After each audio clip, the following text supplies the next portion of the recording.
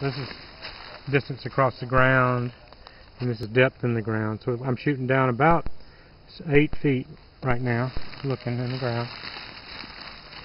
Mm. Probably won't see a grave when I'm trying to find one. Okay.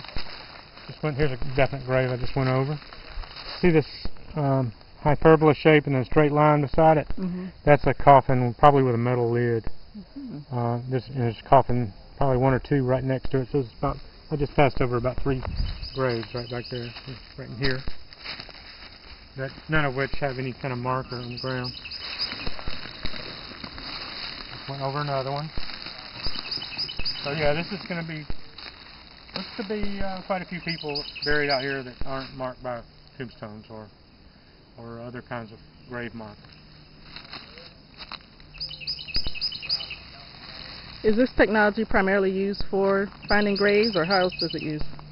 Um, I was actually the first archaeologist to ever use this brand.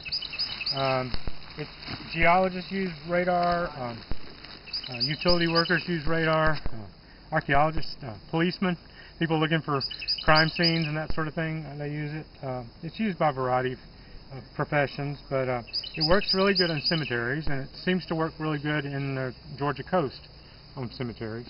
Why, why the Georgia coast? Well, it, certain soils and, and uh, mineral content of the soils can affect how well it works. So there, there are parts of the country where radar doesn't work because there's too much iron in the soil, or uh, there are two things that can kill the signal. One is uh, salt, which you'd think there'd be a lot of salt around the coast, but Mhm. it's not really until you get right on the water that it affects it. So uh, that was it never been used until recently on the barrier islands. So we know now that it works pretty good on barrier islands. Uh, the soils are, are good for the conductivity of the uh, radar beam, and so uh, you know eventually as I go down in the ground I lose uh, radar signals. It starts kind of dropping the signal. But um, the other thing, it won't go through metal. Mhm. So like large solid metal objects, it, it'll create an echo underneath it. It'll see the top of the metal, but it won't see underneath the metal. So like that coffin with a lot of metal in it, it's going to make dis- dis- distinct signature. But if there was another burial below that one or something, you would, might not see it. Mhm. So it's recording the information that you Yeah, gather each- as you roll across. Each pass that I make, when I get to the end of the line, I, I, I save it. That saves three computer files. I keep doing. I move over 50 centimeters or half a meter, and do another line, and just keep doing these lines until I have. I'll probably wind up with about three or four hundred lines. Then I take all those lines and, and make a big sandwich out of it, and then I can do um, a plan view, uh, bird's eye view of the cemetery, and I can cut down in the ground and say this is what the graveyard looks like, you know, two feet down. This is what it looks like five feet down, and it, you know, that that's when the graves kind of pop out. You can also see them pretty good in side view. mm-hmm. That's right. Basically, that's a grave. Uh, that's probably two graves. There's a grave. There may be one or two in here. So just in that little sample that I did, you know, I went over at least five people, Mm-hmm. none of which have a marker. Okay. So I don't know how many we're going to see, but we'll have a. They're sort of like uh, I always tell everybody graveyards are like icebergs. You know, you, you see the tip, but there's always a lot that you don't see.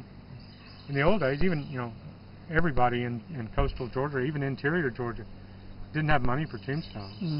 So uh, just because you know you see a few tombstones, there could well be ten times that many people buried there, Okay. and not to mention vandalism and other problems.